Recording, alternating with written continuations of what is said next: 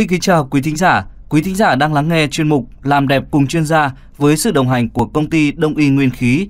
Về chủ đề của chúng tôi ngày hôm ngày hôm nay thì Huy Hiệu xin phép được nhường lời cho phái đẹp. Đối tượng chính của chuyên mục xin giới thiệu tới quý vị đó là MC An Ngọc ạ. Vâng ạ. Thật ra Huy Hiệu nói vậy là đúng nhưng mà chưa đủ đâu nhá. Phái Mạnh bây giờ ấy cũng rất là quan tâm tới lĩnh vực làm đẹp và đặc biệt có một lượng lớn thính giả nam sẽ chú ý lắng nghe để uh, chia sẻ lại với vợ này, bạn gái này hay là cả mẹ của mình nữa đấy ạ.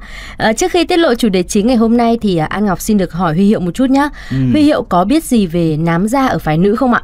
Có chứ ạ? À, nám da chính là những cái mảng hoặc là đốm sậm màu xuất hiện trên khuôn mặt và chủ yếu là phía dưới mắt và vùng má của các chị em phụ nữ.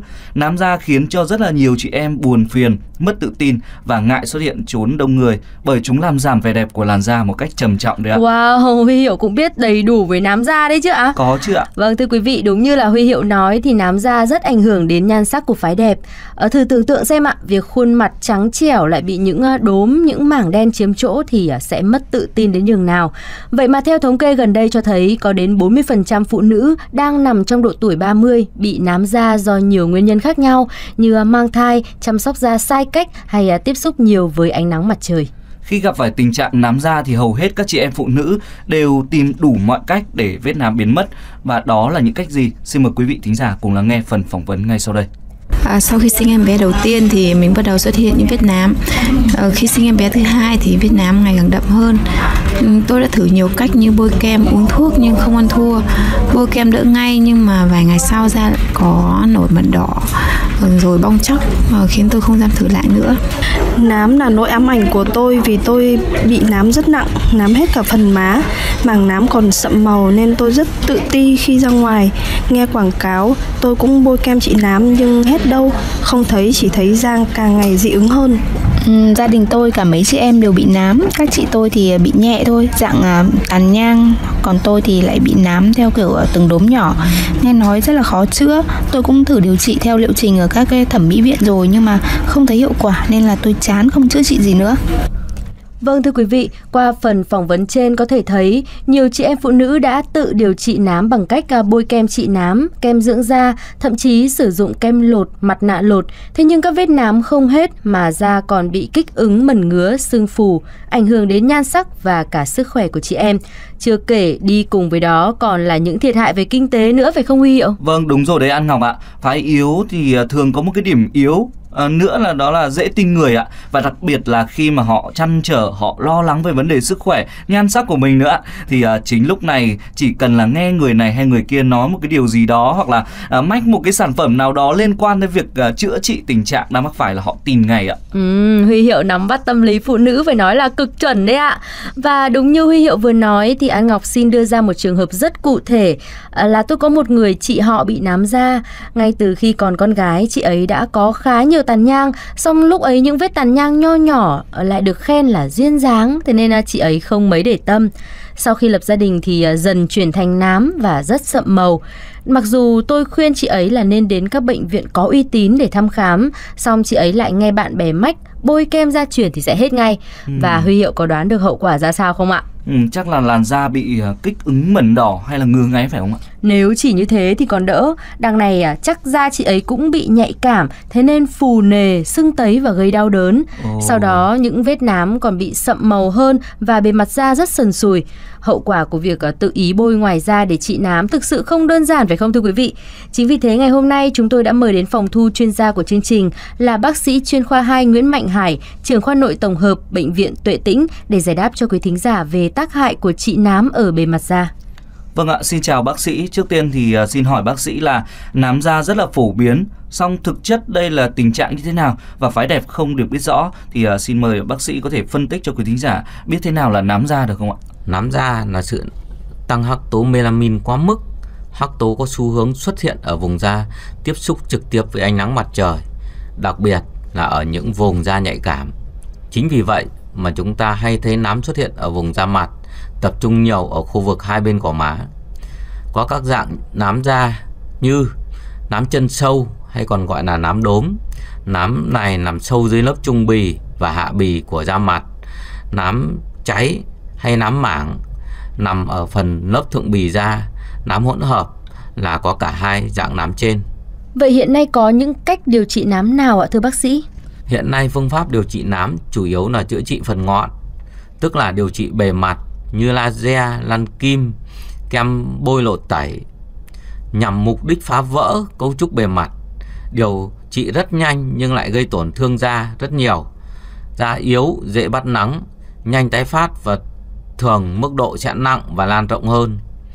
Nguy cơ gây sẹo, tổn hại sức khỏe và đặc biệt mỗi lần điều trị nám sẽ phức tạp và tốn kém hơn rất nhiều. Điều trị nám từ gốc là một giải pháp hoàn toàn mới, khác biệt thuốc uống bổ thận, bổ khí huyết, dinh dưỡng da từ bên trong, bên ngoài, dùng sản phẩm dưỡng da đông y không hóa chất giúp phục hồi và tái tạo da, da khỏe không bắt nắng, khỏi nám hoàn toàn với một liệu trình duy nhất, chọn đời không tái phát, an toàn tuyệt đối, sức khỏe được nâng cao. Phương pháp này đang được áp dụng tại Đông y Nguyên khí gần 20 năm nay. Thưa quý vị, trong phần phỏng vấn của chúng tôi ở trên thì nhiều chị em phụ nữ đã tự điều trị bằng cách là bôi kem, uống thuốc và lột mặt nạ và ừ, đều không có hiệu quả và thậm chí là da còn bị kích ứng dẫn đến mẩn đỏ, ngứa ngáy nữa. Và xin hỏi bác sĩ là tác hại cụ thể của việc trị nám ở bề mặt da là gì ạ? Điều trị nám bề mặt là sử dụng các cách để tác động vào khu vực da bị nám từ bên ngoài. Mục đích là phá vỡ cấu trúc nám, tan nám Phương pháp này laser hay dùng. Hậu quả của phương pháp này là nám tái phát sau một thời gian điều trị. Bên cạnh đó, nguy cơ gây đứt gãy sợi collagen, làm da trùng xuống, chảy xệ, có thể gây sẹo trên da do bỏng. Cách thứ hai là sử dụng sản phẩm bôi ngoài bề mặt da trực tiếp lên vùng da bị nám. Các thành phần hóa chất như hydroquinone, corticoid có trong sản phẩm sẽ ức chế không cho tế bào sắc tố vận chuyển melanin lên bề mặt của da. Phương pháp này có thể làm da trắng nhanh nhưng nguy hại khôn lường. Da chị em có thể bị mất sắc tố, gây nguy cơ ung thư, lão hóa nhanh, tăng sắc tố, làm sạm da hơn. Lệ thuộc thuốc khi dừng thuốc, nám lại tái phát rất khó điều trị và vô cùng tốn kém tiền bạc. Cách thứ ba là dùng các sản phẩm lột tẩy bào mòn như kem bôi, lăn kim. Cơ chế là hủy hoại vùng da bị nám nhằm thay thế bằng một lớp da mới. Nguy cơ để lại sẹo rất cao, nám chân không thể khỏi. Lớp da mới nếu không được bảo vệ tốt sẽ lại nám nặng hơn, dễ viêm nhiễm, kích ứng gây ngơ ngáy. Vâng, hy vọng những chị em nào đang gặp phải vấn đề về nám da đừng nên chủ quan tự điều trị để à, dẫn tới những tổn thương da nặng hơn nữa nhé. Câu hỏi cuối cùng mà An Ngọc xin hỏi bác sĩ là hiện nay có nhiều người tìm đến trị nám bằng đông y. Vậy cụ thể sẽ điều trị như thế nào và phương pháp này có mang lại hiệu quả cao không ạ? Trị nám bằng đông y nguyên khí là trị tận gốc, giúp tiêu chân nám, phục hồi tái tạo da, da khỏe, không bắt nắng, khỏi hoàn toàn, không tái phát với một liệu trình điều trị duy nhất là liệu pháp rất hiệu quả. Tuy nhiên, chị em nên tìm đến với những trung tâm uy tín, có chuyên môn chữa trị, có cam kết rõ ràng để bảo vệ quyền lợi. Vâng, xin được cảm ơn những tư vấn rất là hữu ích đến từ bác sĩ của chương trình, bác sĩ chuyên khoa 2 Nguyễn Mạnh Hải. Xin chào và hẹn gặp lại bác sĩ trong các chương trình tiếp theo. Và quý thính giả thân mến, nám da là một hiện tượng thường gặp ở phái nữ, đòi hỏi quá trình điều trị lâu dài, công phu và kiên trì. Bên cạnh việc điều trị theo phương pháp của các bác sĩ chỉ định thì các chị em còn chủ động chăm sóc da thông qua chế độ dinh dưỡng khoa học, uống đủ nước, ngủ đủ giấc và chống nắng đầy đủ khi tiếp xúc với ánh nắng mặt trời. Nhiều người có quan điểm sai lầm rằng à, kem chống nắng chống đen da, nhưng sự thực là kem chống nắng chống tia UV, từ đó tránh các tác hại xấu của ánh mặt trời lên làn da phái nữ. Với ánh nắng gay gắt trong môi trường hiện nay thì An Ngọc khuyên các chị em nên chọn loại kem chống nắng có chỉ số SPF bằng hoặc lớn hơn 50 để đảm bảo sự che chắn cho da.